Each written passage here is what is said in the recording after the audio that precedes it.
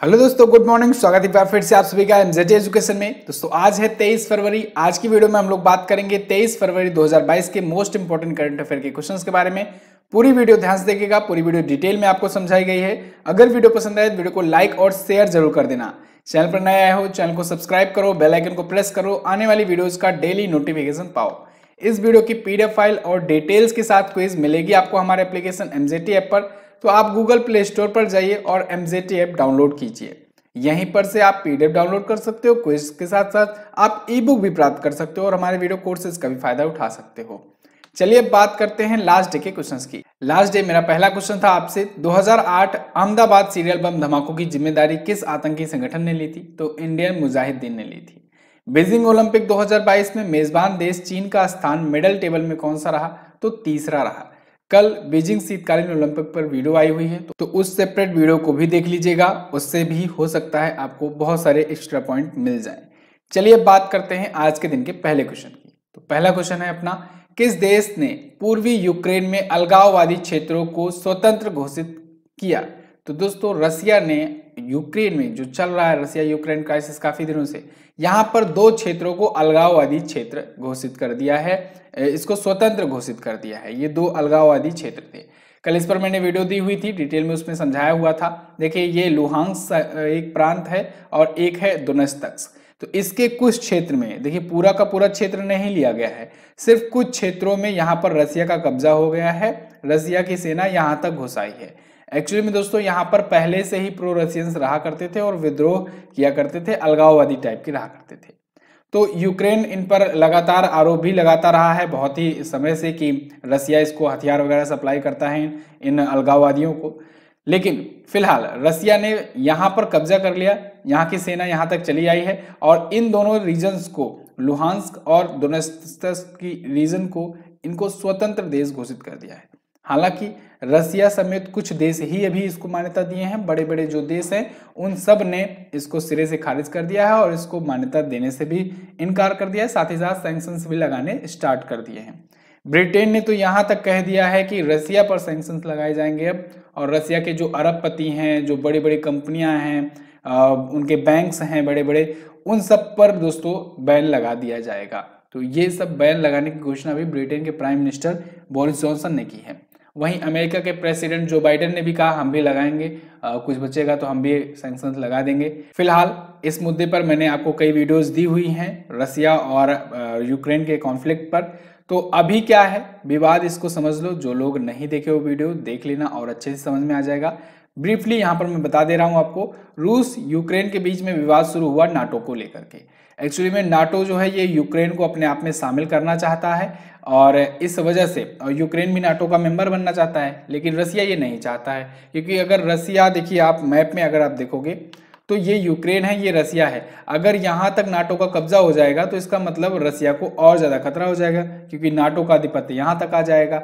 न, नाटो जब यहाँ तक आ जाएगा तो रसिया के हर मामले में दखलंदाजी करने लगेगा ठीक है? तो इस वजह से रसिया नहीं चाहता है कि नाटो में शामिल हो Ukraine. NATO by the way आपको बताएँ तीस देशों का एक संगठन है उन्नीस सौ उनचास में स्थापना हुई थी। इसके अलावा इसका हेडक्वार्टर ब्रुसेल्स में है और इसमें तीस सदस्य देश हैं। एक और देश ये जुड़ना चाह रहा है, यूक्रेन, लेकिन जुड़ नहीं पा रहा है। ठीक है ना? तो ये सारी चीज़ें आपको याद रखना। नाटो का full form North Atlantic Treaty Organization Kyiv जो है, इसकी राजधानी है, राष्ट्रपति हैं व्लादिमिर जेलेंस्की यूक्रेन के। अब रसिया देख लो आप। रसिया यहाँ पर है, दुनिया का सबसे बड़ा देश है ये। मॉस्को यहाँ की राजधानी है, मिखाइल वी मिसुस्तिनी यहाँ के प्राइम मिनिस्टर व्लादिमीर पुतिन यहाँ के राष्ट्रपति हैं। रूबल करेंसी है, हालाँकि यहाँ की करेंसी लगातार इसकी वैल्यू गिरती जा रही है। इसी टेंशन को लेकर के यहाँ के शेयर मार्केट भी बिल्कुल गिर रहे हैं नीचे, ठीक है? चलिए, आगे देखते हैं। हाल ही में एमपी में, यानी मध्य प्रदेश में, खजुराहो नृत्य महोत्सव का कौन सा संस्करण आयोजित हुआ? तो खजुराहो नृत्य महोत्सव का अभी हाल ही में यहाँ पर अड़तालीसवां संस्करण शुरू हुआ है। मध्य प्रदेश में खजुराहो डांस फेस्टिवल चल रहा है। और बहुत ही पारंपरिक ये फेस्टिवल होता है। इसका उद्घाटन किया है वहाँ के गवर्नर मंगू भाई छगन भाई पटेल ने। इस साल महिलाओं के लिए सुरक्षित पर्यटन को बढ़ावा देने के लिए दिल खोल के घूमो नाम का मैराथन भी शुरू किया गया। पाँच किलोमीटर लंबा ये मैराथन था, एक अवेयरनेस टाइप का। ओके? तो हिंदुस्तान के दिल में आप सुरक्षित हैं, ये नारा भी लगाया गया। अड़तालीसवां ये संस्करण था, खजुराहो नृत्य महोत्सव। खजुराहो जो स्थल है दोस्तों यूनेस्को की वर्ल्ड हेरिटेज साइट में शामिल है। मध्य प्रदेश में और भी महोत्सव अभी हाल फ़िलहाल में मनाए गए हैं। जैसे मैंने आपको बताया था कि मध्य प्रदेश में वन महोत्सव मनाया गया तो वन महोत्सव आप याद रखेंगे। ठीक है, ड्रोन मेला का आयोजन किया गया था। ड्रोन मेले का आयोजन किया गया था। ठीक है, इसके अलावा तानसेन तानसेन विश्व संगीत आयोजित की गई थी। विश्व संगीत आयोजित की गई थी। ये सभी चीज़ें आपको याद रखनी है मध्य प्रदेश से। क्लियर? चलिए, अगला देखते हैं अब थोड़ा सा मध्य प्रदेश के बारे में पहले जान लेते हैं। मध्य प्रदेश आप देखोगे तो यहाँ पर मैप में है, ये भारत के बिल्कुल मध्य में है। उत्तर प्रदेश से छत्तीसगढ़ से, महाराष्ट्र से, गुजरात से और राजस्थान से अपना बॉर्डर शेयर करता है। भोपाल यहाँ की राजधानी है, भोपाल में ही भोजताल झील है। शिवराज सिंह चौहान बीजेपी पार्टी से यहाँ के सीएम है, गवर्नर है मंगू भाई छगन भाई पटेल, रवि विजय कुमार मलिमाथ यहाँ के हैं, चीफ जस्टिस करंट टाइम पर। साके सागर झील, भोजताल झील, ये सभी झीलें हैं यहाँ पर। नेशनल पार्क की बात करें तो Madhav national park, Van Vihar national park, Panna tiger reserve, Pench national park, ठीक है, संजय नेशनल पार्क, बहुत सारे यहाँ पर नेशनल पार्क है। ग्यारह नेशनल पार्क के साथ ये भारत में सबसे ज़्यादा नेशनल पार्क वाला राज्य है। अच्छा अभी पेंच नेशनल पार्क से एक क्वेश्चन आया था दोस्तों कि पेंच नेशनल पार्क में एक कॉलर वाली नाम से एक जो जिसका ऑफिशियल नाम टी फिफ्टीन था कॉलर वाली नाम से एक बाघिन का निधन हुआ है, जिसने 29 तावकों को जन्म देकर के एक वर्ल्ड रिकॉर्ड सेट किया है अपने नाम, ठीक है? तो हालाँकि इसका निधन हुआ है अभी। तो कॉलर वाली वहाँ के रीजनल लोग कहते थे इसे, और इसका नाम था टी फिफ्टीन ठीक है? ऑफिशियल नेम याद रखना है पेंच नेशनल पार्क में थी। क्लियर आगे देखते हैं। अगला क्वेश्चन है, हाल ही में किसने किसान मोबाइल ऐप लॉन्च किया? तो किसान मोबाइल ऐप लॉन्च किया है दोस्तों आई आईआईटी रुड़की ने Indian Institute of Technology Roorkee ने अभी हाल ही में किसान नाम का ऐप लॉन्च किया है। ये किसान ऐप क्या करेगा?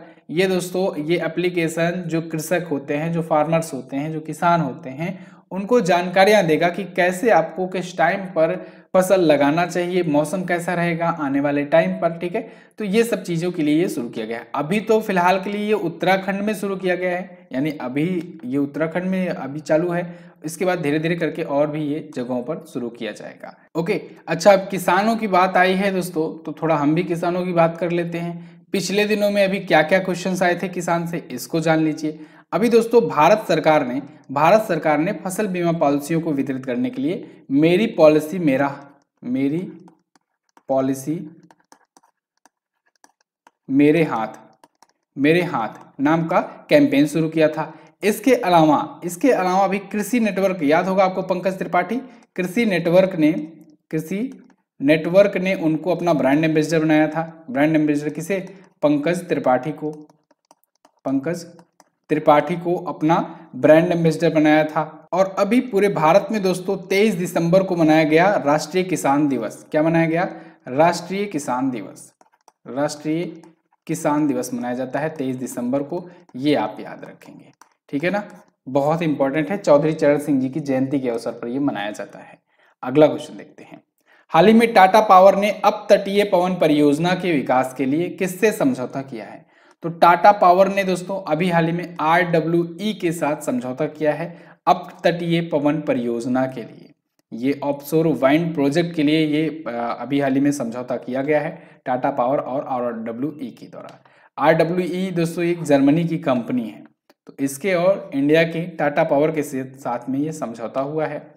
क्योंकि भारत चाहता है कि 2030 तक 30 गीगावाट अप तटीय पवन प्रतिष्ठान प्राप्त करे, यानी ऑफशोर वाइंड एनर्जी जो है, इसकी, इसका लक्ष्य रखा है 30 गीगावाट का 2030 तक का भारत।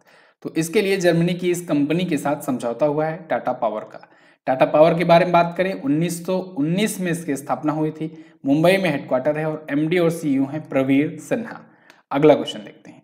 हाल ही में भारत और किस देश के बीच पूर्वी ब्रिज सिक्स नाम का वायु सैन्य अभ्यास शुरू हुआ? एक्चुअली में इसे पूर्वी ब्रिज ना कहें, ज़्यादा बेटर होगा ईस्टर्न ब्रिज अगर कहेंगे तो ठीक है? तो क्या कहेंगे? ईस्टर्न ब्रिज सिक्स नाम का एयर एक्सरसाइज हुआ किसके किसके बीच में? भारत और ओमान के बीच में। भारत की वायुसेना और ओमान की वायुसेना के बीच में ये अभ्यास हुआ ईस्टर्न ब्रिज सिक्स। 21 से 25 फरवरी तक ये चल रहा है। जोधपुर, राजस्थान में ये आयोजित हो रहा है। इस बार का इसका छठा संस्करण है। ओमान अगर आप देखोगे मैप में तो एशिया का मैप आपके सामने है ये। ये अपना प्यारा भारत है। यहीं से आप देखोगे ये रहा जस्ट ओमान, ठीक है? ये ओमान है और ये है यूएई, छोटा सा देश यूएई। यूएई और ओमान में ही तो दोस्तों हुआ था। अभी टी ट्वेंटी वर्ल्ड कप। ठीक है? और अभी पिछला वाला आईपीएल भी तो हुआ था, ठीक है? तो टी ट्वेंटी वर्ल्ड कप और आईपीएल यूएई और ओमान में हुआ था, उसको दोनों को आप याद रखेंगे। अभ्यास कहाँ पर हुआ? जोधपुर, राजस्थान हुआ, लेकिन इन इन दोनों देशों के बीच में हुआ है। अगला देखते हैं। हाल ही में किसने the founders the story of PayPal नामक पुस्तक लिखी? तो इस पुस्तक को लिखा है दोस्तों, जिमी सोनी ने। किसने? जिमी सोनी ने। फाउंडर्स द फाउंडर्स पुस्तक दोस्तों, ये द पेपाल आप सुने होंगे ना? पेपाल यूज़ भी किए होंगे बहुत सारे लोग आप में से, ठीक है? पेपाल जो है, ये एक पेमेंट कंपनी है। और जैसे आप यहाँ पर गूगल पे फ़ोन पे वगैरह यूज़ करते हो ना, ऐसे इंटरनेशनल पेमेंट्स के लिए पेपाल यूज़ किया जाता है। हालाँकि इंडिया में उसका, इसका यूज़ थोड़ा कम है, लेकिन इंटरनेशनल जब पेमेंट करना होता है तो इसका यूज़ ज़्यादा होता है। तो इसके जो फाउंडर्स थे एलन मस्क वगैरह, इनके बारे में ये पूरा स्टोरी बताई गई है। The founders the story of PayPal and entrepreneurs who saved Silicon Valley ठीक है? तो एलन मस्क पीटर थियल और रीड हॉफमैन इन तीनों ने मेल करके पेपाल की स्थापना की थी। हालाँकि एलन मस्क बाद में से निकल गए थे यहाँ से। लेकिन ये सभी फाउंडर्स में थे और इन्होंने पूरी की पूरी सिलिकॉन वैली का पूरा पूरा सेप बदल दिया। तो इसमें कैसे क्या चीज़ हुआ, ये चीज़ें बताई गई है इस पुस्तक में। और काफ़ी लोगों को बेसब्री से इंतज़ार होगा इस पुस्तक का। क्योंकि इसमें इन तीनों की स्टोरी भी बताई गई है। अब हम लोग पिछले दिनों में आए कुछ पुस्तकों और लेखकों का कर लेते हैं रिविजन हालाँकि कल भी किया गया था। Fearless governance doctor Kiran Bedi ji ने किया। ऑपरेशन खत्म आरसी गंजू और सुनी भटनागर जी ने लिखा। The class of 2006 Aakash Kansal ने लिखा। Golden boy Neeraj Chopra, Navdeep Singh Gill. India that is Bharat J Sai Deepak और Atal Bihari Vajpayee Sagarika Ghose. A nation to protect Priyam Gandhi Mody. Clear देखिए, पुस्तकें और लेखक अगर आप बार बार देखते रहोगे बार बार आप पढ़ते रहोगे तो याद हो जाएगा। वैसे अगर आप सोचोगे कि एक दिन में याद कर लें तो मुश्किल ही है, ठीक है? चलिए, अगला देखते हैं। भारत की किस महिला क्रिकेटर ने सभी प्रारूपों से संन्यास की घोषणा की? तो दोस्तों, भारत की स्टार बैट्स विमेन थी वी आर वनिता। इन्होंने क्रिकेट के सभी प्रारूपों से संन्यास की घोषणा कर दी है, यहाँ पर आपको दिख रही हैं। तो इन्होंने अनाउंस कर दिया है कि अब ये इंटरनेशनल क्रिकेट में किसी भी फॉर्मेट में भारतीय टीम का हिस्सा नहीं होंगी, यानी टी ट्वेंटी ओडीआई और टेस्ट तीनों में। हालाँकि ये ओडीआई और टी ट्वेंटी ही अभी तक खेली थी छः ओडीआई खेली थी और सोलह टी ट्वेंटी इंटरनेशनल मैचेस इन्होंने खेले थे। कर्नाटक और बंगाल के लिए ये घरेलू क्रिकेट भी खेल चुकी थी। भारतीय महिला क्रिकेट की बात करें तो मिताली राज जो है, ये दोस्तों, ये ओडीआई और टेस्ट टीम की कप्तान है और टी ट्वेंटी इंटरनेशनल में हरमनप्रीत कौर जो ये कप्तान है भारतीय महिला टीम की। आरआरबी एनटीपीसी सीबीटी टू ये बैच चल रहा है बहुत ही शानदार तरीके से। इस पर आज जो वीडियो अपलोड हुई है वो आईसीसी टूर्नामेंट्स की हुई है। आईसीसी के कौन कौन से पिछले चार सालों में टूर्नामेंट्स रहे थे? उसमें क्या क्या चीज़ें हुई? क्या कौन man of the match man of the series ये सारी चीज़ें जो भी हुई, ये इसकी वीडियो आज अपलोड हुई है। इसके अलावा दोस्तों और भी बाकी की जो स्टैटिक सेक्शन है, उसमें लगातार वीडियोज़ अपलोड हो ही रही हैं। तो उन चीज़ों को भी ध्यान रखते चलो, जो करंट अफेयर के मुद्दे आ रहे हैं, उनको भी ध्यान रखते चलो। और वीडियोस देखते चलो। मैं बार बार कह रहा हूँ वीडियो लगातार सब लोग देखते चलो। नहीं तो लास्ट में आपके पास उतना टाइम बच नहीं पाएगा। और लास्ट में सिर्फ़ और सिर्फ़ रिविजन करना रहेगा और उस टाइम पर आप केवल पीडीएफ से ही पढ़ना चाहोगे तो पूरा अच्छे से तैयार होगा नहीं। ठीक है? अगला देखते हैं। किस राज्य में भारतीय रेलवे देश का पहला केबल रेल ब्रिज बना रहा है? तो दोस्तों, भारतीय रेलवे जम्मू कश्मीर में देश का पहला केबल रेल ब्रिज बना रहा है। ये कुछ इस प्रकार से है। जम्मू कश्मीर में बनाया जा रहा है। ये देश का पहला केबल रेल ब्रिज होगा, ठीक है ना? रेलवे के लिए पहली बार केबल ब्रिज का यूज़ किया जा रहा है। ये रियासी ज़िले में अंजी नदी पर बनाया जा रहा है। जनरली इसे अंजी रेल ब्रिज भी कहा जा रहा है। जम्मू कश्मीर में है। उधमपुर श्रीनगर बारामूला रेल लिंक परियोजना का एक हिस्सा है जो कटरा और अन्य क्षेत्रों से रेलवे को जोड़ेगा। 331 मीटर की ऊंचाई पर यह होगा। पेरिस में जो आईफेल टावर है, उससे भी ज़्यादा ये ऊँचा होगा। कुल लंबाई है चार मीटर की। इसमें छियानवे केबल यूज़ किए जाएँगे। तो जम्मू कश्मीर में बन रहा है देश का पहला केबल रेल ब्रिज। अगला 22 फरवरी 2022 को मनाए गए विश्व चिंतन दिवस की थीम क्या थी? तो दोस्तों 22 फरवरी 2022 को विश्व चिंतन दिवस मनाया गया। वर्ल्ड थिंकिंग डे ये प्रत्येक वर्ष 22 फरवरी को ही मनाया जाता है। उस क्वेश्चन के, इस टाइप को लिख करके, लिखावट को देख करके आप कंफ्यूज मत होइएगा। ये 22 फरवरी को ही प्रत्येक वर्ष मनाया जाता है, बस इसकी थीम आपको बतानी है। इसकी थीम है इस बार की our world our equal future क्या है? Our world our equal future world thinking day तो ये दिवस दोस्तों प्रत्येक वर्ष 22 फरवरी को मनाया जाता है। थिंकिंग के बारे में अवेयरनेस फैलाने के लिए कि सही सोचो, सबके लिए अच्छा सोचो। दुनिया भर में सभी जो गर्ल्स स्काउट्स होते हैं गर्ल्स गाइड्स होते हैं और गर्ल ग्रुप्स होते हैं, इनके द्वारा ये मनाया जाता है। इसको मनाए जाने की शुरुआत 1926 में ही हो गई थी। हालाँकि ऑफिशियल मान्यता मिली विश्व चिंतन दिवस के रूप में उन्नीस सौ निन्यानवे को। पहले ये चिंतन दिवस के रूप में मनाया जाता था, लेकिन उन्नीस सौ निन्यानवे से विश्व चिंतन दिवस के रूप में ये मनाया जाने लगा। अगला हाल ही में किस पद्म पुरस्कार से सम्मानित शकुंतला चौधरी जी का निधन हो गया? तो शकुंतला चौधरी जी दोस्तों, ये स्वतंत्रता सेनानी थी और सामाजिक कार्यकर्ता थी। इनका अभी हाल फ़िलहाल में निधन हो गया है। ये भारत के चौथे नागरिक सम्मान, पद्मश्री से सम्मानित थी। तो इनका अभी हाल ही में 102 वर्षों की उम्र में निधन हुआ है। गांधीवादी थी, विचारधारा की और बहुत ही फ़ेमस सामाजिक कार्यकर्ता थी। स्वतंत्रता सेनानी भी थी। 102 वर्षों की उम्र में इनका निधन हुआ है। पद्मश्री इनको 2022 में ही मिलने वाला था। इन्हें शकुंतला बाईदेव के नाम से भी ज़्यादा जाना जाता था। क्लियर? तो बस दोस्तों, ये तो थे हमारे आज के टॉप टेन करंट अफेयर के क्वेश्चंस। आई होप आपको वीडियो पसंद आई होगी। वीडियो अगर पसंद आई है, वीडियो को लाइक कीजिए, शेयर कीजिए अपने दोस्तों के पास। और हाँ चैनल को अगर सब्सक्राइब नहीं किए हो तो चैनल को सब्सक्राइब करो, जिससे आने वाली वीडियोज़ का नोटिफिकेशन भी आप तक पहुँचता रहे। अब बात करेंगे क्वेश्चन ऑफ़ द डे की। आज का पहला क्वेश्चन आपके लिए, दादा साहब फागल के इंटरनेशनल अवार्ड 2022 में बेस्ट एक्ट्रेस का अवार्ड किसने जीता?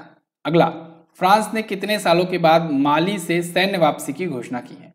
दोनों क्वेश्चंस के बारे में आपको जो भी पता होगा, डिटेल में ज़रूर आंसर करने का प्रयास करना। एमजेटी ऐप पर जाकर इसकी क्विज सॉल्व कर लेना। यहीं पर आप ई बुक प्राप्त कर सकते हो, हमारे कोर्सेज प्राप्त कर सकते हो, फ्री क्विजेज सॉल्व कर सकते हो, बहुत सारे स्टडी मटेरियल्स है, इन सब का आप फ़ायदा उठा सकते हो।